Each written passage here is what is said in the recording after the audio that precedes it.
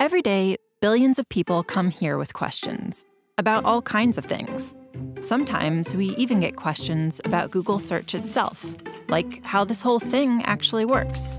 And while this is a subject entire books have been written about, there's a good chance you're in the market for something a little more concise. So let's say it's getting close to dinner and you want a recipe for lasagna. You've probably seen this before, but let's go a little deeper. Since the beginning, back when the homepage looked like this, Google has been continuously mapping the web, hundreds of billions of pages, to create something called an index. Think of it as the giant library we look through whenever you do a search for lasagna or anything else. Now, the word lasagna shows up a lot on the web pages about the history of lasagna, articles by scientists whose last name happened to be lasagna, stuff other people might be looking for. But if you're hungry, randomly clicking through millions of links is no fun. This is where Google's ranking algorithms come into play. First, they try to understand what you're looking for, so they can be helpful even if you don't know exactly the right words to use or if your spelling is a little off. Then they sift through millions of possible matches in the index and automatically assemble a page that tries to put the most relevant information up top for you to choose from. Okay, now we have some results. But how did the algorithms actually decide what made it onto the first page?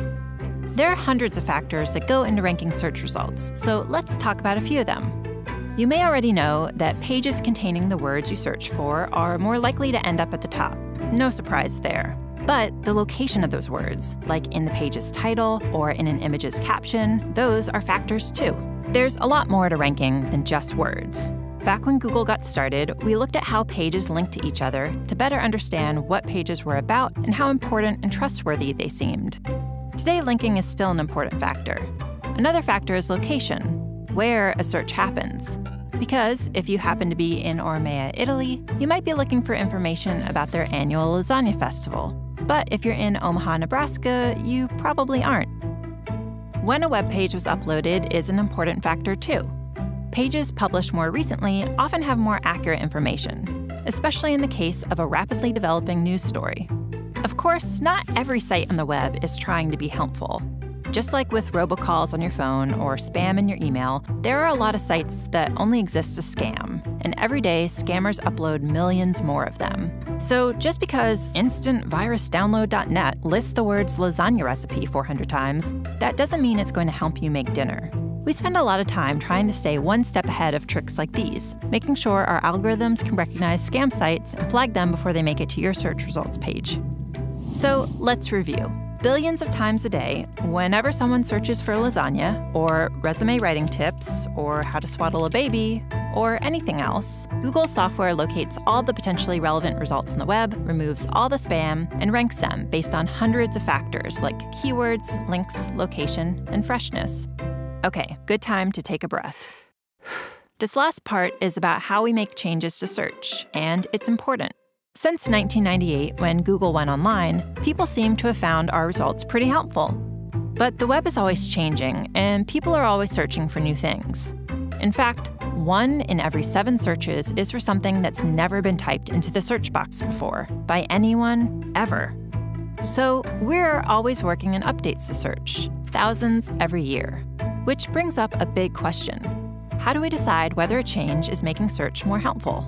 Well, one of the ways we evaluate potential updates to search is by asking people like you. Every day, thousands of search quality raters look at samples of search results side by side, then give feedback about the relevance and reliability of the information. To make sure those evaluations are consistent, the raters follow a list of search quality evaluator guidelines. Think of them as our publicly available guide to what makes a good result good. Oh, and one last thing to remember. We use responses from raters to evaluate changes, but they don't directly impact how search results are ranked. So there you have it.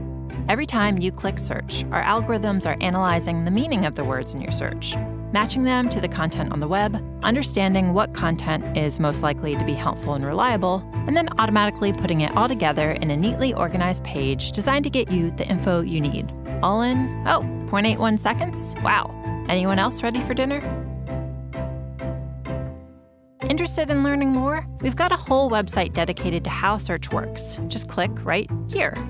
Want to read the Search Quality Rater guidelines for yourself? Click right here.